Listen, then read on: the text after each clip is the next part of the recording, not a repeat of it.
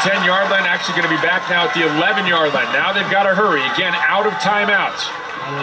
Donald West and Jay Morrison again in on the action.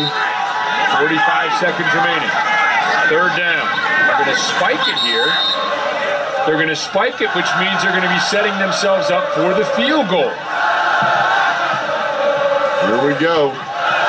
So Peter Gula will run out here with the field goal unit. And his last field goal attempt was blocked.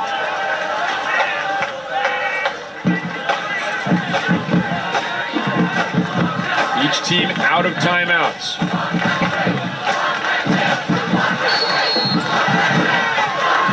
Holloway will set up at the 18-yard line, so it will be a 28-yard, a 28-yard field goal attempt here for Peter Gula.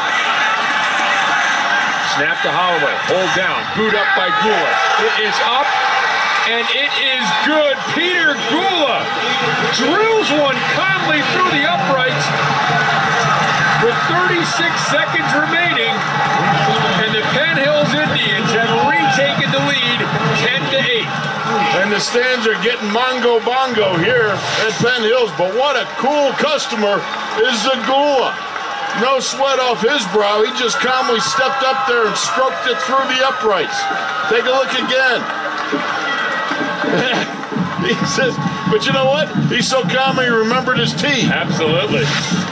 Picked it up and scooped it away and has given Penn Hills a 10 to 8 lead. Another entertaining game here on McDonald's High School football on Root Sports.